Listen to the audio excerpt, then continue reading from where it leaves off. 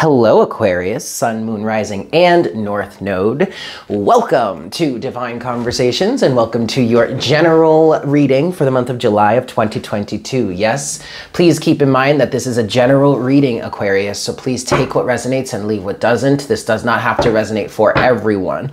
We could also be talking to a cross watcher, yeah, so just place it into your life as it fits. Don't try to force anything to fit that doesn't naturally go there. Also, Aquarius, keep in mind that this is in fact a timeless reading. I understand that it is associated or and or dated for the month of July of 2022, but time is an illusion and is fluid. So this doesn't have to resonate for you during the month of July. Whenever you're guided to watch this reading and it resonates, then that's the message for you in that moment. The association with July really for is really just for organizational purposes. Yes? All right, Aquarius. We're going to dive into this. Two more shuffles here. Aquarius, Sun, Moon, Rising, and North Node. What is going on for Aquarius? What messages do we have for Aquarius at this time? Last shuffle. All right. Let's get into this. Aquarius, Sun, Moon, Rising, and North Node. What's going on for Aquarius, please, Spirit? What messages do we have for Aquarius at this time? Ooh. Oh, oh, oh shit. All right. I don't want to look at that yet. Because the first card you have here, Aquarius, is the Seven of Swords. All right. Six of Cups, the Devil, the Ace of Wands. Overall energy. Yeah. Is the Eight of Cups. So Aquarius, Either you are walking away from this association or you need to.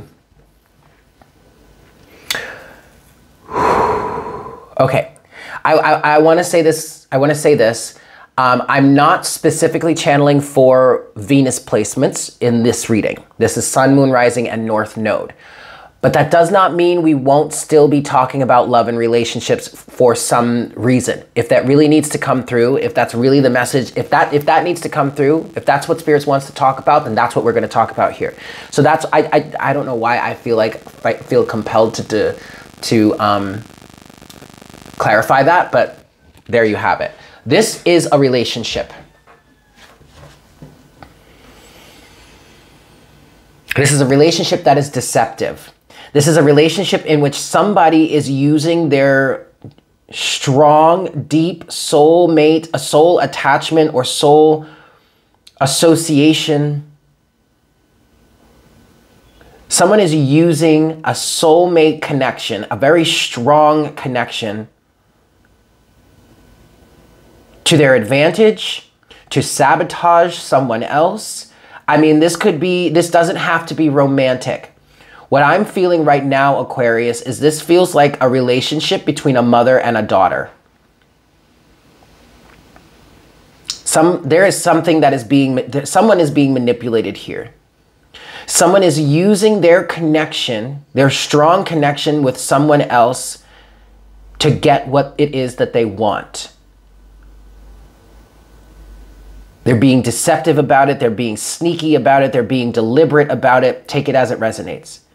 Overall energy here is the Eight of Cups. This needs to be walked away from. This needs to be released. Okay, I'll show you the cards here. Seven of Swords, Six of Cups, the Devil, the Ace of Wands.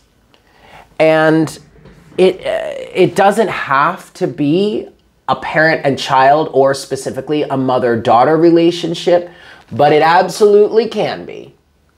Because what I'm getting from this energy is well, you're stuck with me, or someone is aware, the devil and the ace of wands. What I'm feeling with this is someone is aware that they have some sort of bond with another person. This person is stuck with them somehow. This is this is uh, this is that um, that mindset of well, they're your mother, they're your father, they're your sister, they're your brother, blah, blah, blah. You have to love them. You have to do this. You have to do that. You have to be there for them, blah, blah, blah, blah, blah, blah, blah, blah, blah. But if the situation is abusive, is toxic, the devil, then you have every right to walk away. See, here's the thing about the devil, Aquarius. It may seem like a situation that you are bound to, that you just can't seem to get away from. You just can't seem to let go of. You can't seem to be released from.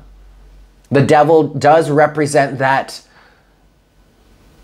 adage. Is it an adage? Why did I hear adage? Or that phrase or saying, the old ball and chain, right? To speak of someone's spouse. Here's the thing though. And what the devil doesn't tell you, or what the devil doesn't want you to know, is that you can remove yourself from this association at any time. Oftentimes, the devil is represented as like a devil in between two individuals, and those two individuals are chained to the devil, right? It doesn't say that in this side, in this depiction but maybe it'll come out in another in the other deck in my clarifying deck so you can see it. But the thing about the chains that are on these people let me see if i can find it. The thing about the chains that are on these people is that they're loose enough to be slipped right off. Like you could literally take those chains off at any time. You can get away from the devil's yeah here we go.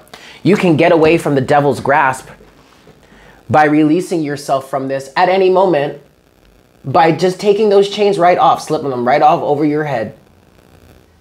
But see, that's the thing. You have to choose. It has to be your choice. The devil is not going to let you go, okay? Of his own volition. Even if he's made an, a, de- a deal, an agreement with you to say you do this for him and he'll let you go. Either he made that deal with his fingers crossed behind his back, had no intention of ever honoring it, or he's going to find some sort of loophole to keep you in there. You have to be the one to release yourself from this association. That's why you have the Eight of Cups as your overall energy. But somebody here is using the, the knowledge of your attachment to them as a means to get what it is that they want Ace of Wands. Now, you may be codependent on this person financially, physically, mentally, emotionally. But also keep in mind that they are very codependent on you as well. Okay, you guys mirror each other in that sense. And if you're physically dependent on this person, I understand how that the challenges that is going to like if you are if you have some sort of disability or something like that. But I but literally, as I was speaking to that, as I was saying, if you have some sort of disability, I heard my guide say, Your mother is using that against you. Your mother is using that to take advantage of you. I mean, I don't necessarily know what you what you can do about that, but at least this awareness could help you.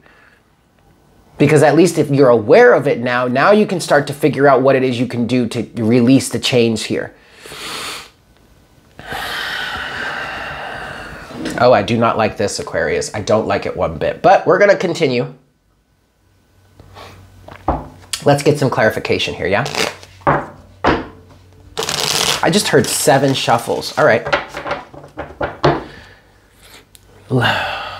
Let's see. That was one. This is two.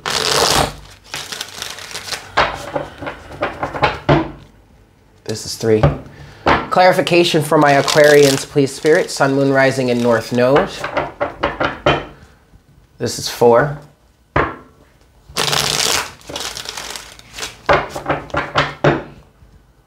Five.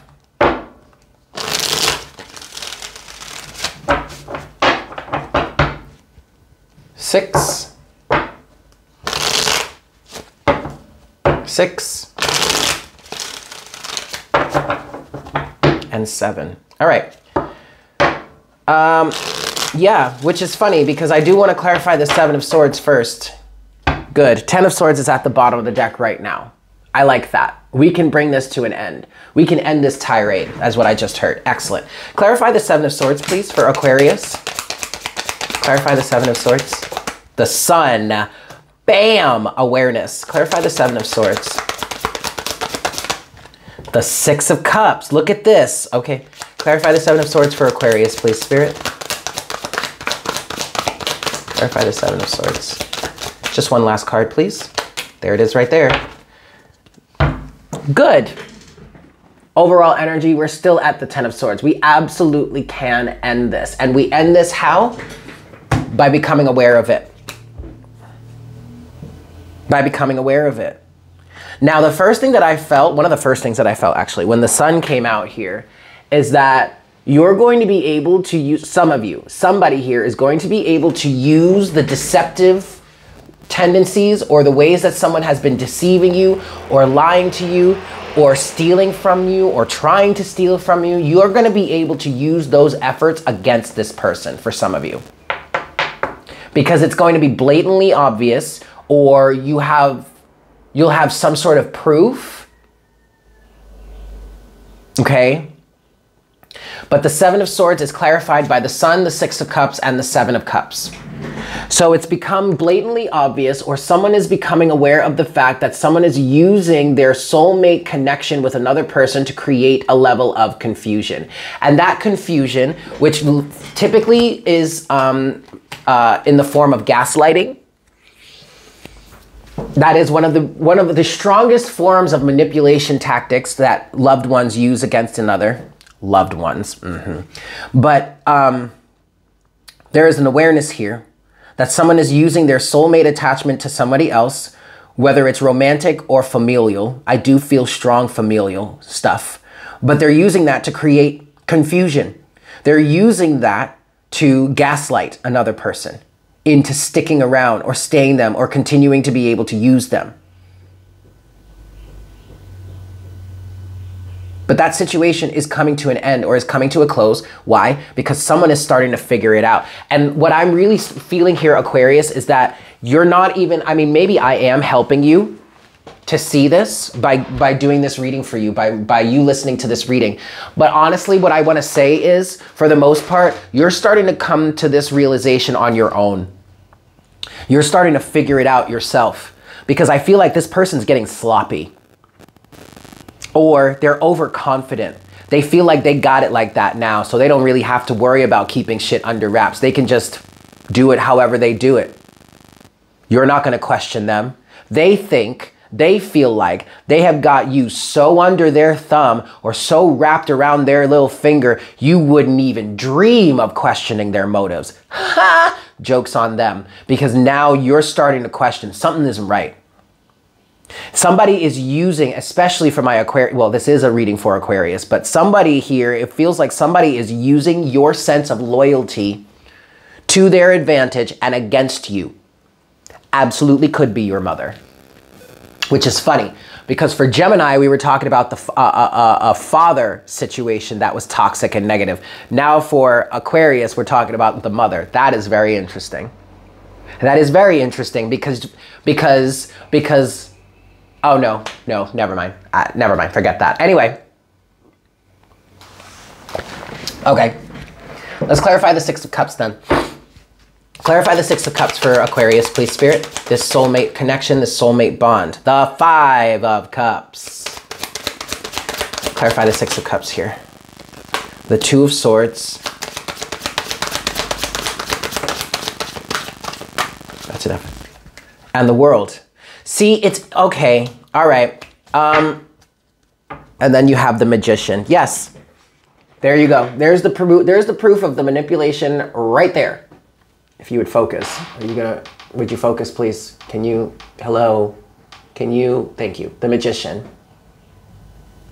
There is the proof of the manipulation right there, Aquarius. And what I'm getting from this is that somebody here does not want to admit or accept that you are either going to grow up that you have grown up or that you this situation something about this relationship or situation needs to end. And that's why they're manipulating so much. Because they're trying to keep it from ending.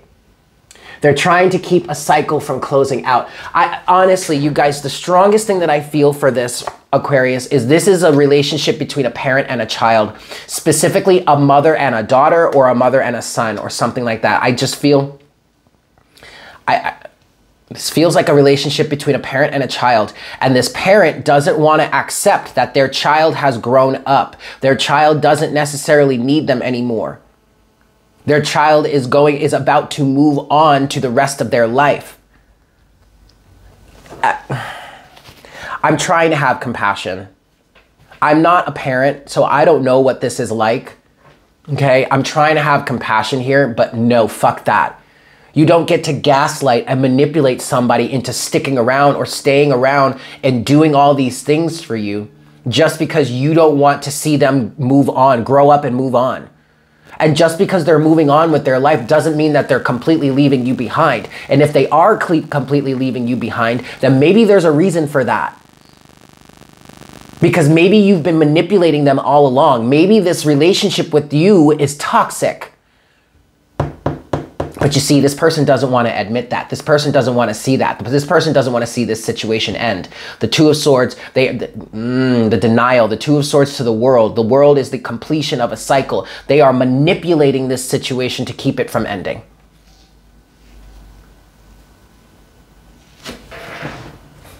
Clarify the devil for Aquarius, please. Justice. Clarify the devil for Aquarius. The Knight of Pentacles.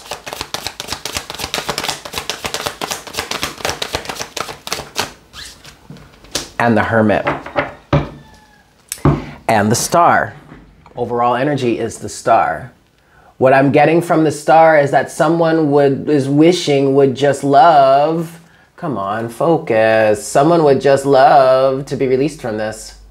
Seriously? Thank you. Someone would really just love to be released from this. The star.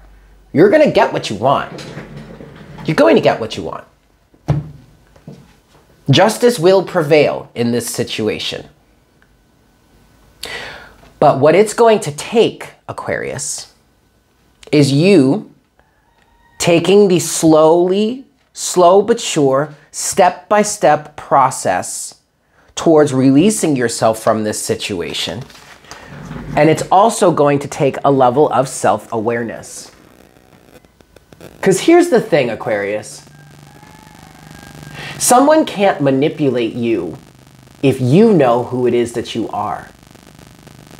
Now, I understand that part of this situation could be this individual berating you, I just heard, or beating into or drilling into who they want you to be, who they think you are, who they think you should be.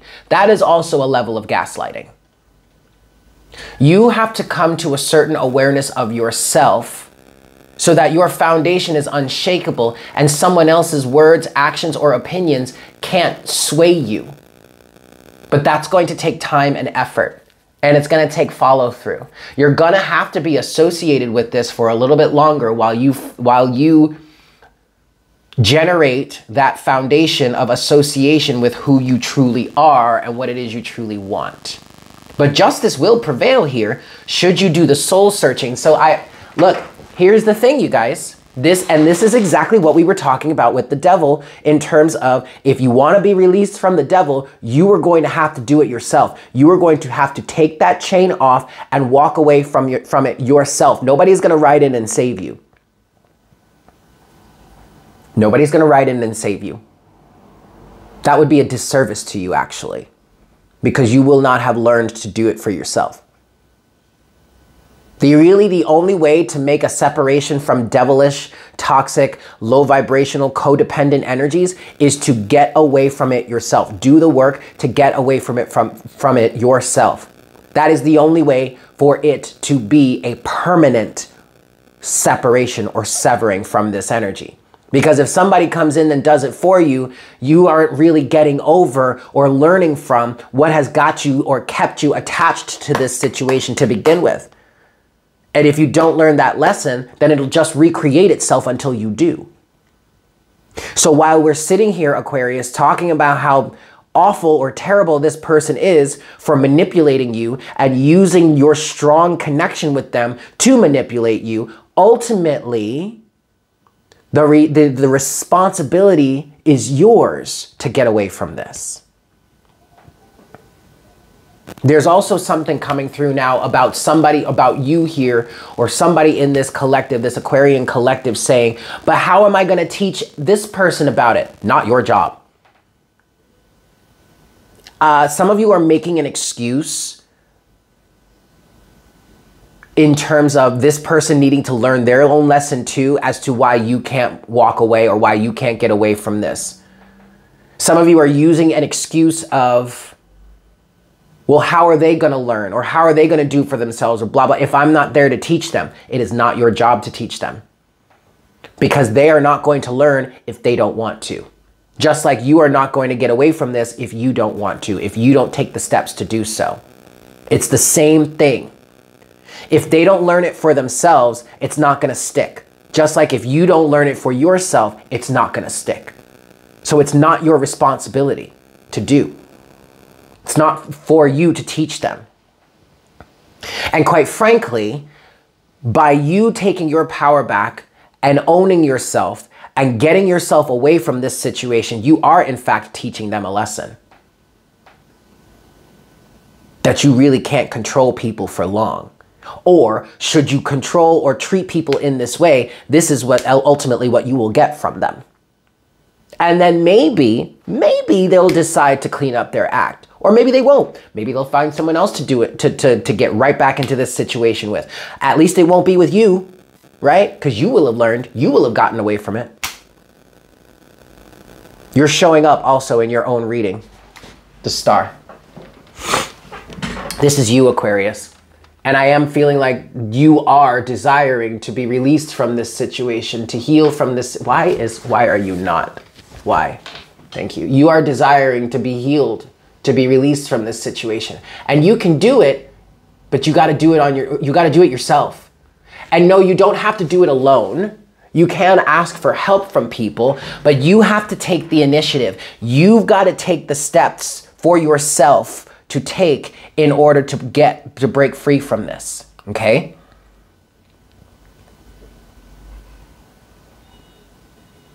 Spirit just said closing message potential outcome. All right. Closing message potential outcome from our Aquarians in this terms of this situation here. Closing message potential outcome for Aquarius.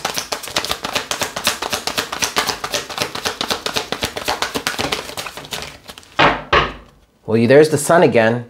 All right, overall energy is the King of Cups.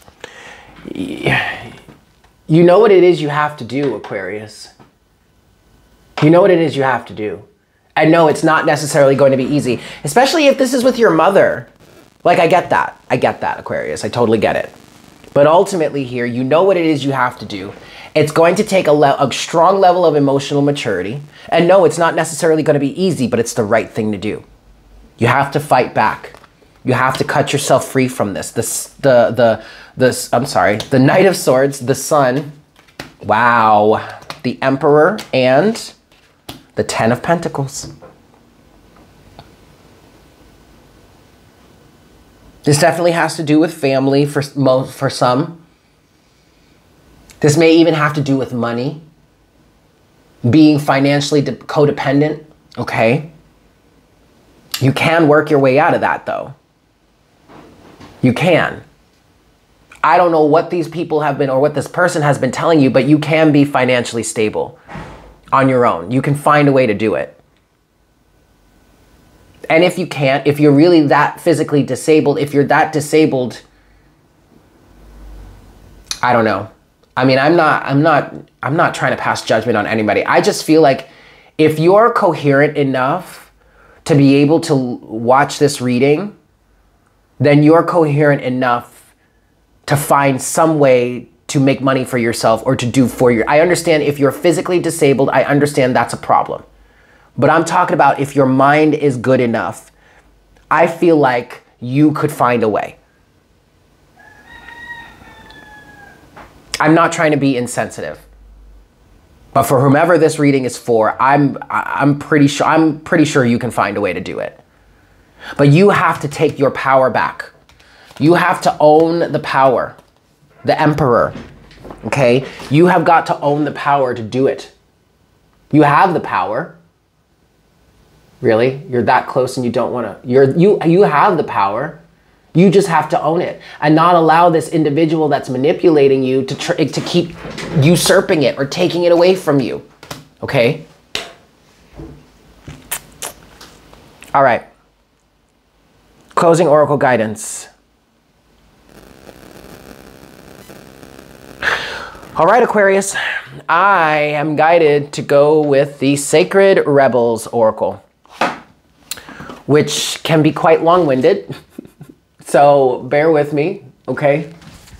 Sacred Rebels Oracle.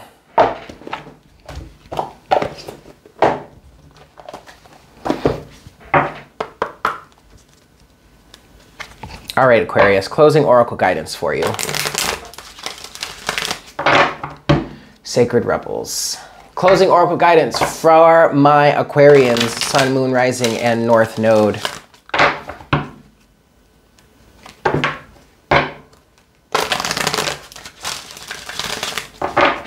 All right, closing oracle guidance, please. There it is. Card number 24. New birth, guarded vigilantly. Yep. All right, let's read it.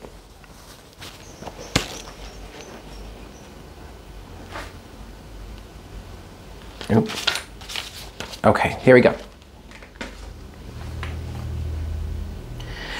In every creative process, in every birth, in every opening of a new cycle of life, there is a time of vulnerability. This vulnerability is natural and appropriate.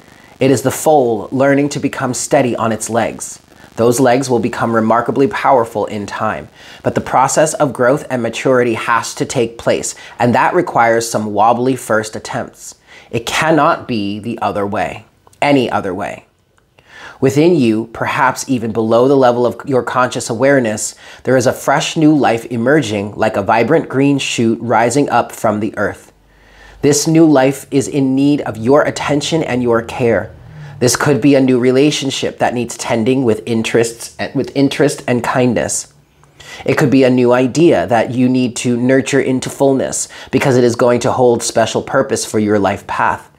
It might be something within you, a new behavior, a new way of looking at yourself, or a new way of being in the world that you need to tend to until it becomes more natural for you to embody.